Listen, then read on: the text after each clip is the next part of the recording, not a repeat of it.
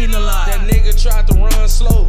We call him Crockpot. This is grown man business. Fuck you scared for. You was claiming big GD. Now you big foe. I'ma let the world know.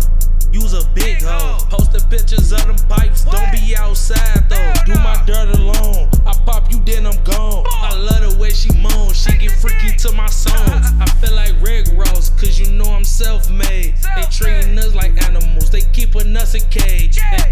Thought was off white, but it's really beige. Bitch, I been getting laid since the sixth grade.